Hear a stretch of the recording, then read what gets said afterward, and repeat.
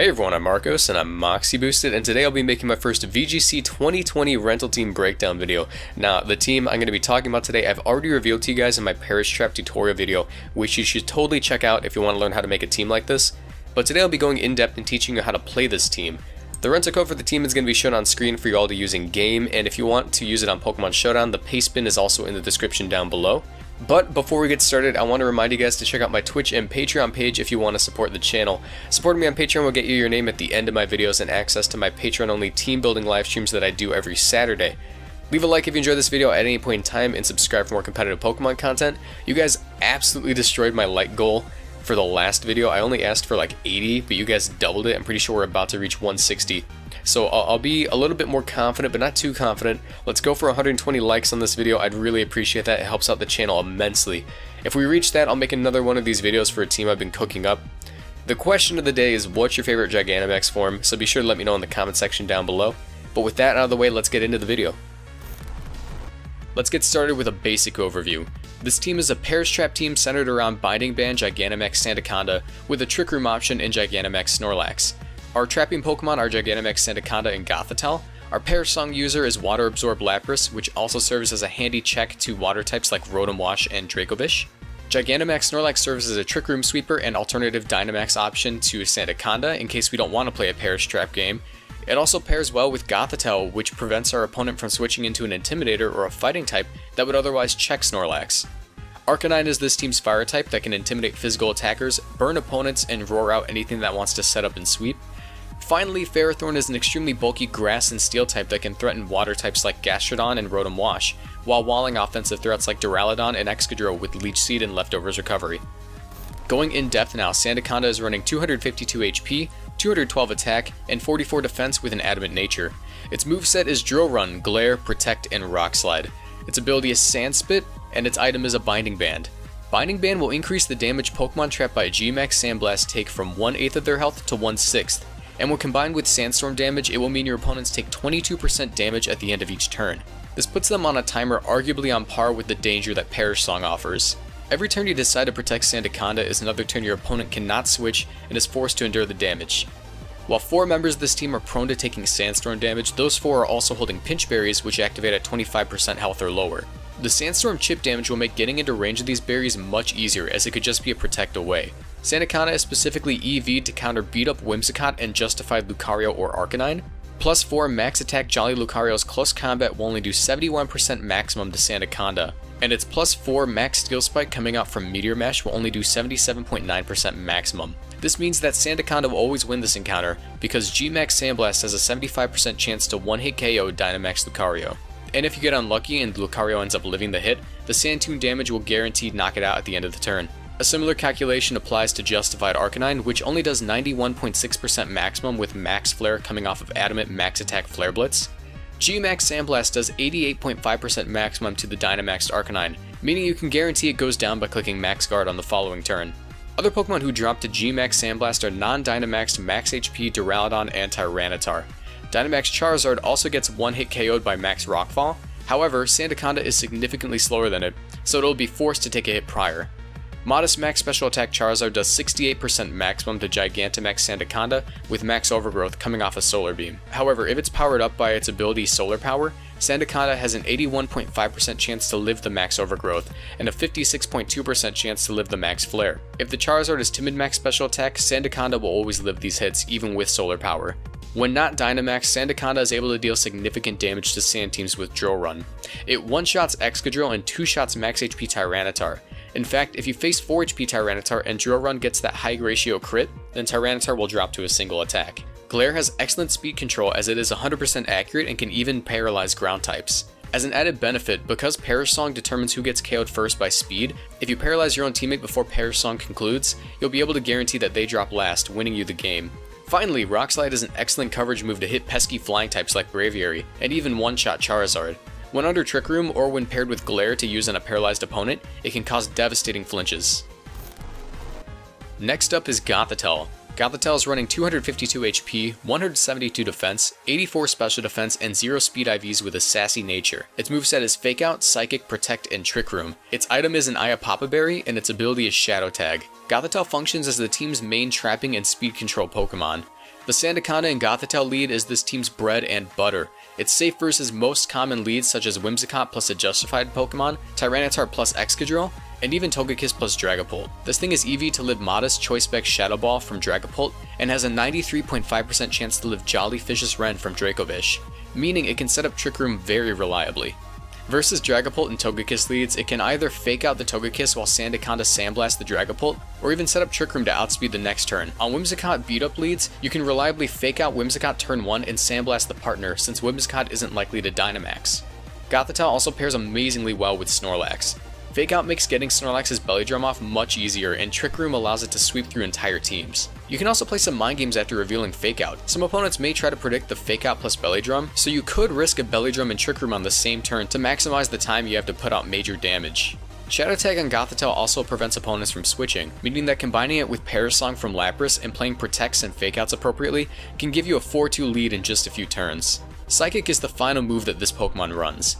It's purely there to help you pick up KOs on Pokemon that Sandaconda and Snorlax struggle with. It's also nice for dealing damage in case Gothitelle cannot use its support moves after a taunt. Lapras is this team's only Perish Song user, but it does its job very well. It runs a spread of 244 HP, 140 defense, and 124 special defense with a bold nature. Its moveset is Brine, Freeze Dry, Protect, and of course Perish Song. Its item is an Aguav Berry and its ability is Water Absorb. Lapras functions as a bulky water type that can switch in for Sandaconda and Arcanine on Fishious Rends from Dracovish and Hydro Pumps from Rotom Wash. It is EV to be 3-shot from modest max special attack Duraludon's Thunderbolt, and has the rest of EVs dumped into defense to ensure its longevity on the battlefield. Freeze Dry is a guaranteed 1-hit KO on 4 HP Dracovish and deals 32 to 43% to Rotom Wash.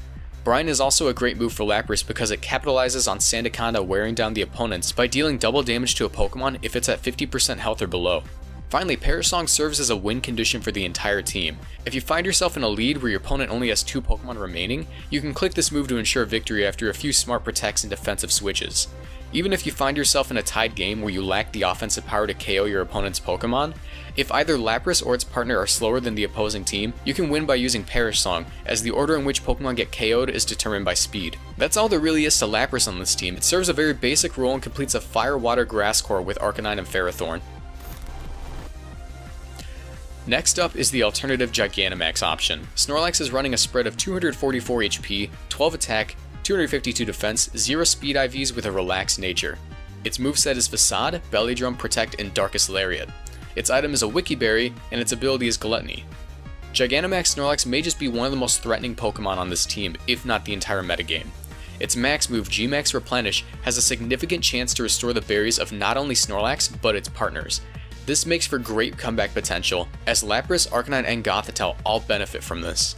Its ability Gluttony makes its berry proc at 50% health instead of 25%, so when it goes for Belly Drum, it will immediately get 33% of its health back. Along with that, once it Dynamaxes, it will be able to live a plus 6 Gmax Replenish from opposing Snorlax, taking only 83% maximum. Gmax Replenish from this Pokemon will one-hit KO just about everything that doesn't resist the hit. And while Facade does underwhelming damage at first, if you get statused in any way by an opponent trying to stop plus 6 Snorlax from sweeping them, Facade will double in base power, becoming even stronger than Gmax Replenish. Darkest Lariat functions as a coverage move to hit steel and rock types that resist Facade, and deals super effective damage against ghost types like Dragapult. It ignores the opponent's stat boost as well, so if you face Evasion or Iron Defense Pokemon, they should be no issue at all. Just to show how disgustingly bulky this thing is, I want to show you this calculation. Plus 4 Jolly Lucario's Close Combat only has a 75% chance to one-shot Snorlax once it's Dynamaxed. Once again, a pretty basic Pokemon, but Snorlax fills a very specific role on this team as a Trick Room offense alternative playstyle.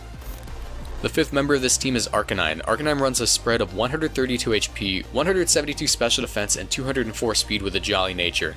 Its moveset is Flare Blitz, Will-O-Wisp, Protect, and Roar. Its item is Figy Berry, and its ability is Intimidate. Arcanine is specifically EV to live a high horsepower from Adamant Excadrill, then proceed to outspeed it and either one-hit KO it with Flare Blitz or burn it with Will-O-Wisp. Arcanine also counters Ferrothorn and has a 68.5% chance to live Hydro Pump from Timid Max Special Attack Rotom Wash. Arcanine is excellent versus Hyper Offense Sand Team that expect Arcanine to drop to a single hit, as well as Trick Room Offense. It can spread Burn to both Rhyperior and Snorlax to cut their attack stats in half, and it also has the option to roar out Snorlax the turn it goes for Belly Drum, or prevent Trick Room altogether by roaring out the setter. Roar can also be used to stop setup Pokemon in general or force your own Pokemon out in case of a Perish Trap mirror match. Arcanine is useful in nearly every match you encounter in this metagame, so I highly recommend you consider it before playing against any team. The final member of this team is Ferrothorn. Ferrothorn runs a spread of 252 HP, 4 defense, and 252 special defense, with 0 speed IVs and a sassy nature.